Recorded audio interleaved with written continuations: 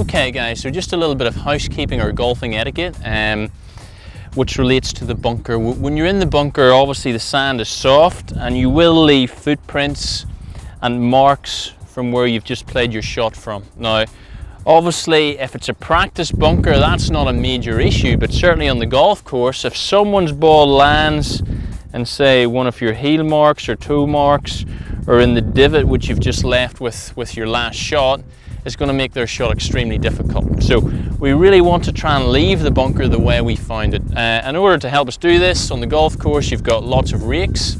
Just grab the rake and rake the bunker before you leave. Very simple, the, easiest way to do it is just to walk backwards. And always feel as though you kind of push more to the front rather than pull back. You don't want to pull the sand out of the bunker, you just want to smooth it over. I always like to kind of push push the sand away from me as I walk back and out of the bunker. And you, as you do this, obviously the reason you're walking backwards is because you're covering your footprints as you leave. Okay? There we go, so we go right up to the edge until we're out. And then we can obviously set the bunker down, move on and play our next shot. So it's just nice to do that. It's part of the game, it's the etiquette.